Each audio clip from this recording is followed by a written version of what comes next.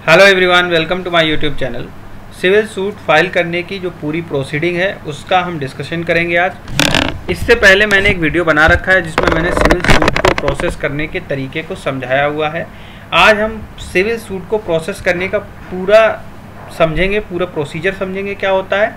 और फिर हम धीरे धीरे करके एक एक चीज़ उसमें से डिस्कस करेंगे, क्योंकि एक ही बार में सारा वीडियो बना दिया, और उसके बाद में उसका इतना क्लैरिफिकेशन नहीं मिल पाता है। लोग कमेंट्स में क्वेश्चन पूछते हैं, ये चीज़ क्लियर नहीं है वो चीज़ क्लियर नहीं है, इसलिए आज मैं पूरा जो प्रोसीजर है, पहले वो बता देता हूँ, क्योंकि जब तक प्रोसीजर नहीं पता चलेगा, तब तक आगे की चीज़ें आपको क्लैरिफाई नहीं होगी। तो सबसे पहले हम आज जानते हैं पूरा कंप्लीट प्रोसीजर कि जब कोई सिविल सूट फ़ाइल होता है, वो किस तरह से फ़ाइल होता है और सिविल सूट के फ़ाइल करने से लेकर के डिक्री डिग्री प्राप्त करने तक का कंप्लीट प्रोसीजर आज हम देखते हैं अपने इस वीडियो में।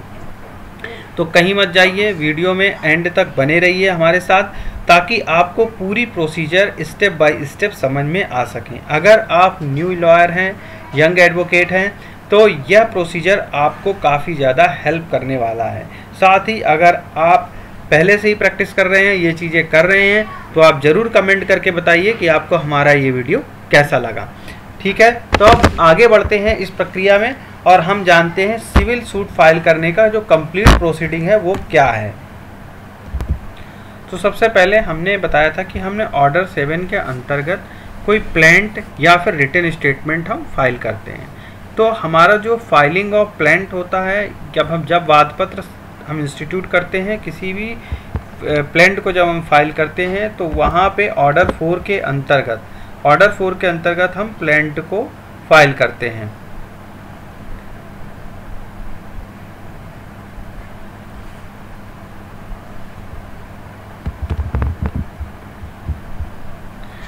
सो ऑर्डर फोर के अंतर्गत हम प्लेंट को यहाँ पर फा, फ़ाइल करते हैं। और इसमें क्या होता है प्लेंट को जब हम फ़ाइल करते हैं तो हम सबसे पहले क्या आता है जो भी हमारा वाद पत्र है प्लेंट है उसको हम ऑर्डर सेवन के अंतर्गत अपनी प्लेंट को तैयार करते हैं। प्लेंट को तैयार करने के लिए हम जो क्लाइंट का ब्रीफिंग करते हैं क्लाइंट का इंटरव्यू लेते हैं तो उसमें हम क्लाइंट से सारी सारी चीज़ें जो है वो पूछ लेते हैं कि उसका जो इशू है, वो क्या है। फिर हम उसके लिए प्लेंट तैयार करते हैं। अगर आपको प्लेंट के तैयार करने संबंधित पूरा प्रोसीजर देखना है तो इसमें वीडियो के एंड में एक डिस्क्रिप्शन हम, में हम लिंक दे देंगे, जिसमें मैंने अपने पूरे पुराने वीडियो में प्लेंट को एक्सप्लेन कर रखा है कैसे हम प्लेंट को लिखते हैं। प्लेंट को लिखने का क्या तरीका होता है? तो जो होता है कि प्लेंटिफ होता है, वो जब प्लेंट को लिखता है ऑर्डर सेवन में और फिर उसको नोटराइज कराता है। नोटराइज कराने के बाद ये ऑफिशियल वर्क होता है नोटराइज कराना। उसको नोटराइज कराने के बाद जो प्लेंट है, उस उसके बाद ये जो है ऑफ़िस में जाती है। ऑफ़िस कोर्ट का जो ऑफ़िस होता है वहाँ पे, इस पे जो है एक स्टैम्प नंबर जो है वो दे दिया जाता है। स्टैम्प नंबर एक तरह से ये होता है कि ये अब स्टैम्प नंबर पढ़ने के बाद चेकिंग डिपार्टमेंट में प्लेंट तुम्हारी चली जाती है। जो सूट फ़ाइल किया गया है, उसका जो फ़ाइल है, वो चेकिंग डिपार्टमेंट में चली जाती है। अब चेकिंग डिपार्टमेंट में कुछ जो इम्पोर्टेंट चीज़ें हैं, वो आर्डर सिक्स और सेवन के तहत चेक होती हैं सबसे पहले कि उसका लिमिटेशंस क्या है, यानी कि जो समय सीमा है कहीं वो तो नहीं ख़त्म हो गई है। दूसरी बात ज्यूरिस्डिक्शन की बात की जाएगी, उसमें सिविल सूट जिस न्यायालय में आपने सूट दायर किया है, उसके पास क्षेत्राधिकार है, उसे सुनने का कि नहीं है। कोर्ट की फ़ीस पेमेंट हो गई है प्रॉपर तरीके से, वो वहीं पे क्लरिकल स्टाफ जो है वो बता देगा आपको जो कोर्ट का स्टाफ है, जहाँ पे ऑफ़िस कार्यालय है, वहाँ बता दिया जाएगा कि अगर कोई स्टैम्प मिसिंग है, वो वहाँ बताएँगे कि आपने कोर्ट की फ़ीस इतने रुपए की स्टैम्प लगाने हैं, आपने इतने रुपए कम की स्टैम्प लगाई है, आप वहाँ पर तुरंत स्टैम्प वहाँ पे वो लगा सकते हैं। और ये अगर सूट जो है, वो बार्ड तो नहीं है लॉ के द्वारा, ऐसा कुछ तो नहीं है, वो बार्ड है। अगर बार्ड है तो वहाँ पे हमें ये पूरा पूरा प्रोसेस में चेक करने में हमें दिमाग लगाना पड़ता है चेक करना पड़ता है कि हमारा जो है क्या ऑब्जेक्शन है। अगर कोई इसमें ऑब्जेक्शन आ रहा है डिपार्टमेंट से तो उस ऑब्जेक्शन को हमें रिमूव करना होता है, ठीक है? ये सब होने के बाद जो ऑफ़िस है, इसको इंडोर्स कर देता है। हमारी प्लांट को क्या कर देगा? इंडोर्स कर देगा। इंडोर्स कर देगा, यानी कि प्लांट को वो एडमिट कर लेगा। एडमिट कर लेने के बाद आपको उसमें डेट मिल जाएगी। डेट मिलने के भी दो तरीके हैं, छोटी डेट मिलना और बड़ी डेट मिलना। छोटी डेट हमें कब चाहिए होती है?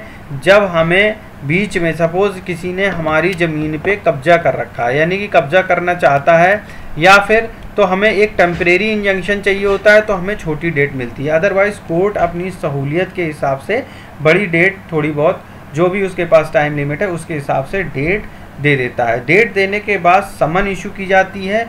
ये पूरी प्रोसीडिंग में यहाँ तक अगर कोई प्रॉब्लम हो तो आप ज़रूर कमेंट बॉक्स पे लिखिएगा। समन समन इशू की जाती है ऑर्डर फाइव के अंतर्गत। ऑर्डर फाइव के अंतर्गत जब समन इशू की जाएगी तो इस समन को समन इशू करने के बाद दो केस बनते हैं कि जो डिफेंडेंट है, वो कोर्ट में अपियर होता है। या डिफेंडेंट कोर्ट में अपियर नहीं होता है। जब डिफेंडेंट कोर्ट में अपियर हो जाता है तो उसमें ऑर्डर नाइन रूल वन आ है आपका। तो यहाँ पर वो रिटर्न स्टेटमेंट दाखिल करेगा ऑर्डर सेवन के अंतर्गत। अब दूसरी बात आती है, जब डिफेंडेंट कोर्ट में अपियर नहीं होता है तो order nine rule one A six one A rule six one A यहाँ पे जब डिफेंडेंट कोर्ट में अपियर नहीं होता है। तो क्या होगा? कोर्ट के पास क्या ऑप्शन है? कि वो एक्स पार्टी कर दे। यानी कि जो प्लेंटिव के पक्ष में वो निर्णय सुना दे। इसकी भी पूरी प्रोसीडिंग है, इसमें भी कोर्ट आर्गुमेंट तय करता है पार्टीज़ से सबूत माँगता है कि जो जो वो अपने प्लेंट में वाद दायर किया है, उसमें आपने जो कोर्ट से आप राहत चाहते हो, उसके लिए आपके पास क्या सबूत हैं? उन सबूतों को पड़ताल करता है, उनको क्रॉस एग्जामिनेशन करता है। क्रॉस एग्जामिनेशन करने के बाद वो फिर एक्स पार्टी ऑर्डर पास करती है कोर्ट। तो इसमें एविडेंस जो होता है प्लेंटिव के द्वारा वो सबमिट किए जाते हैं। फिर जजमेंट कोर्ट जो है ex parte decree court issue कर देती है। अब इसमें आते हैं और कोर्ट में डिफेंडेंट अपियर हो गया। अपियर हो गया ऑर्डर नाइन रूल वन के अंतर्गत। अब वहाँ पर क्या है? अब वहाँ पर रिटर्न स्टेटमेंट लिखी जाएगी। तो रिटर्न स्टेटमेंट का जो फ़ाइल करने का प्रोसेस है ऑर्डर सेवन के अंतर्गत रिटर्न स्टेटमेंट लिखी जाएगी। ये बिल्कुल क्लियर हो जाना चाहिए अब। तीस दिनों के अंदर अंदर ये रिटर्न स्टेटमेंट फ़ाइल हो जानी चाहिए। अगर आपने 30 दिनों के अंदर रिटर्न स्टेटमेंट फ़ाइल नहीं की है तो मैक्सिमम एक्सटेंशन पीरियड इसका दो महीने का है। यानी कि 90 दिनों के अंदर ही आपकी रिटर्न स्टेटमेंट फ़ाइल हो जानी चाहिए। अब ये है कि 90 दिनों में भी जो डिफेंडेंट है, वो रिटर्न स्टेटमेंट फ़ाइल नहीं करता है तो प्लेंट के बेसिस पे जो निर्णय वो सुना जाएगा। ठीक है? डिफेंडेंट अब जो है रिटर्न स्टेटमेंट फ़ाइल कर देता है अगर तो रिटर्न रिटर्न स्टेटमेंट जब वो डिफेंडेंट फ़ाइल कर देगा तो इसमें ये ये हो सकता कि अगर कोई एलिगेशन है, वो कोई डिफाइंड नहीं किया गया है तो उसको, यानी कि जो प्लेंटिफ है वो एलिगेशंस लगाएगा डिफेंडेंट के ऊपर कि उसने उसके इसी अधिकारों का हनन किया है, या उसने उसके राइट्स का यहाँ यहाँ पे इन्फ्रिंजमेंट किया है। तो डिफेंडेंट अगर उनके किसी पॉइंट को मैं कोई वो एलिगेशन मतलब जो कोई एलिगेशन उसको डिनाई नहीं कर रहा है, इसका मतलब वो एक्सेप्ट कर रहा है तो उसको एडमिट माना जाएगा। यानी कि आपको रिटर्न स्टेटमेंट में बहुत अच्छे से एक एक पॉइंट पढ़ना है।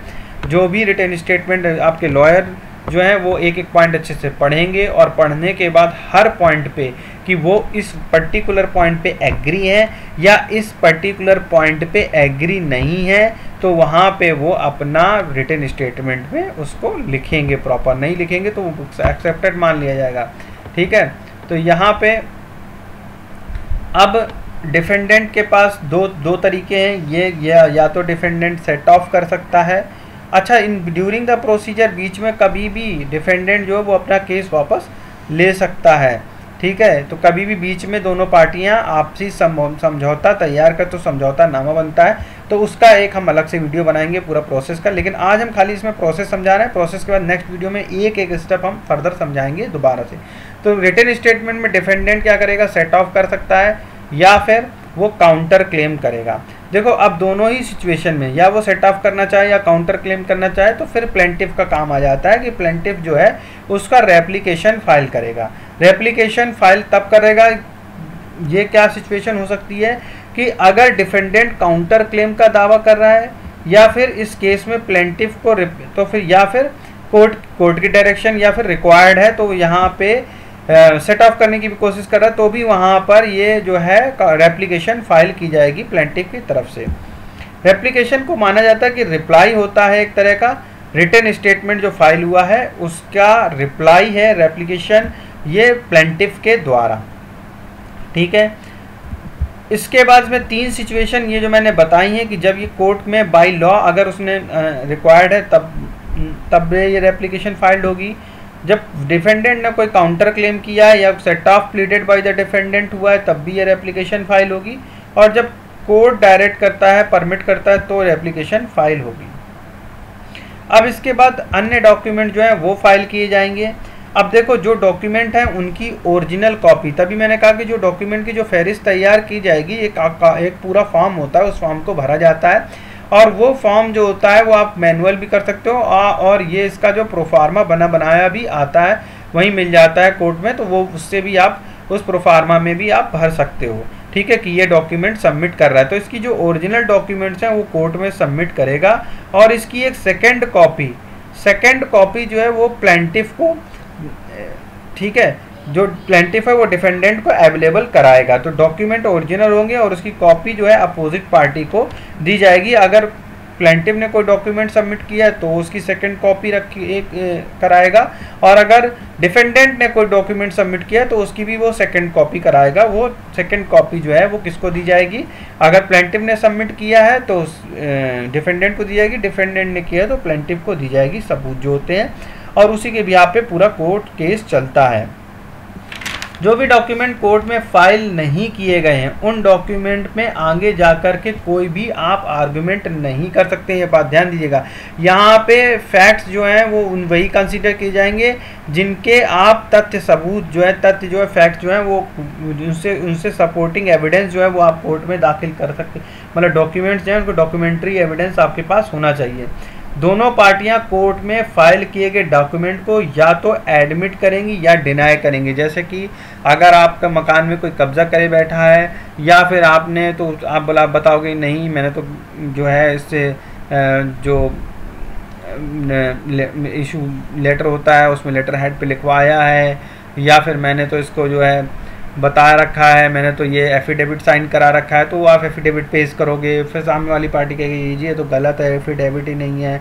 ये कंडीशन तो इस तरह से जो भी डॉक्यूमेंट की टर्म एंड कंडीशंस हैं, वो डॉक्यूमेंट आप ओरिजिनल कोर्ट में सबमिट करोगे और उसकी सेकेंड कॉपी विपक्षी को अवेलेबल कराओगे। ठीक है? दोनों पार्टियाँ जो कोर्ट में फ़ाइल किए गए डॉक्यूमेंट को या तो एडमिट करेंगी या डिनाई करेंगी। जो कि पार्टी अगर एडमिट कर लेती तो उसको फिर प्रूफ करने की ज़रूरत नहीं होती है कोर्ट में। डिनाई करेगी तो फिर उसको उसके सपोर्ट में अपने आर्गूमेंट में बताना पड़ेगा। ठीक है? ये सब हो जाने के बाद अब जो है, न्यायालय आर्डर 14 में जज साहब जो है इशू फ्रेमिंग करेंगे कि इनमें से बहुत से चीज़ें जो हैं, वो सबमिट की जाएँगी कोर्ट समझेगी कोर्ट प्लेंटी प्लेंट समझेगी। प्लेंट में जो आप कोर्ट से चाहते हो, मैंने कहा था, आपको प्लेंट लिखने का पूरा तरीका समझाया था, इसके वीडियो के बाद भी मैं दोबारा से प्लेंट बताऊँगा, क्योंकि प्लेंट बहुत इंपॉर्टेंट पॉइंट है।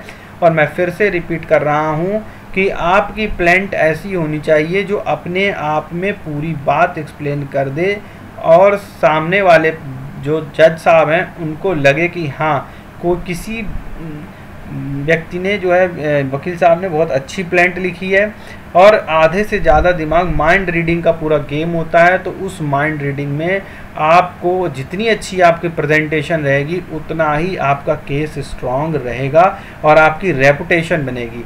तो ये जो है, आप बहुत अच्छे से ध्यान रखिए कि जो आप चाहते हो जो अनुतोष आप प्राप्त करना चाहते हो, उसको बाकायदा अंडरलाइन करके आप लिखिए कि न्यायालय से ये दरख्वास्त है कि तुम्हें ये तुम्हारे ये राइट हुए हैं कोर्ट की जो प्रोसीडिंग का जो खर्चा है, वो दिया जाए। कुछ और जो न्यायालय समझता है, जो भी उचित समझता है, वो आपको प्रोवाइड किया जाए। नहीं लिखोगे तो ये नहीं मिलेगा। तो इसलिए आपको अपने इशू फ्रेमिंग बहुत इशू फ्रेमिंग है। ये जो प्लेंट है, उसमें चीज़ें बहुत साफ़ साफ़ बहुत अच्छे से लिखी जानी चाहिए। प्लेंट एक बार मैं पुरानी वीडियो का भी लिंक दूँगा और अगर स्पेशल रिक्वेस्ट है तो मैं दोबारा से प्लेंट का खाली अलग से लेक्चर लूँगा। प्लेंट पूरी अलग से समझोगे प्लेंट कैसे लिखी जाती है। बहुत ही आसान लग रहा होगा आपको, लेकिन प्लेंट बहुत लिखने का, जो आप इसी को बोलते हैं ड्राफ्टिंग अगर आपने सही से सीख ली तो आप आधा केस जो है अपना ऐसे ही जीत जाते हो। ठीक है? कोर्ट की प्रोसीडिंग में आपको इंटरेस्ट आने लगेगा, और आप जितना कोर्ट की प्रोसीडिंग में इंटरेस्ट वर्क करोगे, उतनी ही अच्छी आपकी प्रैक्टिस होती जाएगी। अब आप जो है आर्डर 14 में इशू फ्रेमिंग हो जाता है। इशू फ्रेमिंग में जो भी डिस्प्यूट होता है सूट का, वो डिस्प्यूट जो है, वो उसको देखा जाता है और उसके हिसाब से इशू को फ्रेम कर दिया जाता है। इशू जब कोर्ट में कोर्ट के द्वारा फ्रेम हो जाता है, उसके बेसिस पर आर्ग्यूमेंट होती है। कि ये इशू है, इसका ये, आप फालतू की कोई बहस नहीं कर सकते, ना जैसा आपके पास इतना टाइम है, ना आपके पास इतना टाइम होना चाहिए। आप जो है, केवल जो इशू है, जो विवादक तत्व है, जो इशू फ्रेमिंग हो गई है, उस पर अब दोनों पार्टियाँ बहस करती हैं कि ये इशू रहा कुछ चीज़ें ऐसी होती हैं जो वहीं की वहीं इशू फ्रेमिंग में ये दोनों पार्टियों को डिसाइड करके निकालनी होती हैं तो वहाँ पे जो इशू फ्रेम हो जाता है, वो इशू फ्रेम करने के बाद कोर्ट में दोनों पार्टीज़ अपने गवाहों की लिस्ट सबमिट करेंगी। गवाहों की लिस्ट सबमिट करेंगी विटनेसेस की लिस्ट जब सबमिट करी जाएगी तो उन विटनेस का क्रॉस एग्जामिनेशन होगा। विटनेस का जो क्रॉस एग्जामिनेशन होगा प्लेंटिफ की तरफ़ से जो विटनेस पे, पेश की गए उनका पहले होगा फिर उसके बाद डिफेंडेंट को चांस मिलेगा। डिफेंडेंट की तरफ़ से जितने विटनेस होंगे उनको क्रॉस एग्जामिनेशन किया जाएगा। सबसे पहले प्लेंटिफ अपने विटनेस को कोर्ट में एफिडेविट फॉर्म में एविडेंस फ़ाइल करा ले, करता है। फिर डिफेंडेंट का जो भी एफिडेविट फ़ाइल हुआ है, उस पर क्रॉस एग्जामिनेशन का मौका दिया जाता है, ठीक है? फिर डिफेंडेंट को भी मौका दिया जाता है कि वो अपने विटनेसेस को एफिडेविट कोर्ट में फ़ाइल करें और प्लेंटिफ उसका क्रॉस एग्जामिनेशन करेगा, ठीक है? इस तरह से ये एफिडेविट का जो क्रॉस एग्जामिनेशन हो जाएगा, जो जो विटनेसेस हैं, उनका क्रॉस एग्जामिनेशन हो जाएगा। फिर आपकी फाइनल हियरिंग होगी ऑर्डर 18 के अंतर्गत। आर्ग्यूमेंट पहले प्लेंटिव करेगा, फिर डिफेंडेंट को आर्ग्यूमेंट करने का चांस दिया जाएगा। पार्टी जो भी है, वो चाहे तो रिटर्न आर्ग्यूमेंट भी पेश कर सकती हैं कोर्ट में। अब जो ऑर्डर 18 है, उसमें फाइनल हियरिंग होने के बाद ऑर्डर 20 में जजमेंट पास हो जाएगा। तो जजमेंट जिसके फेवर में जाएगा, उसे बोलते हैं डिक्री होल्डर और जजमेंट जिसके अगेंस्ट जाएगा, उसे बोलते हैं जजमेंट डेटर ठीक है? अब जजमेंट जिसके फेवर में जाता है, उसे डिक्री होल्डर बोला जाता है, और जजमेंट जिसके अगेंस्ट में जाता है, उसे हम decree holder sorry judgment debtor कहते हैं, जिसके अगेंस्ट में जजमेंट जाता है. तो ऑर्डर ट्वेंटी में आपका जजमेंट आ जाएगा. अगर जजमेंट डेटर डिक्री को नहीं मान रहा है कह रहा है कि नहीं, ये जो डिक्री पास हुई है, हम इसको नहीं मान रहे हैं। और फिर भी जैसे कोर्ट ने डिक्री दे दी है, आप मान लो किसी किसी ने आपकी ज़मीन कब्जे में कर रखी, कोर्ट ने कह दिया कि ज़मीन जो है वो कब्जा नहीं कर सकता है, उसके खिलाफ कोर्ट ने ऑर्डर पास कर दिया। फिर भी वो कब्जा जारी रखे तो फिर ऑर्डर 21 आएगा, जहाँ पे डिक्री को एग्जीक्यूट कराने की एप्लीकेशन जो है वो प्लेंटिव दायर करेगा, जो भी पीड़ित पार्टी है, पीड़ित पक्ष है, वो दायर करेगा कोर्ट में कि ये डिक्री पास है, इसको एग्जीक्यूट कराया जाए साहब।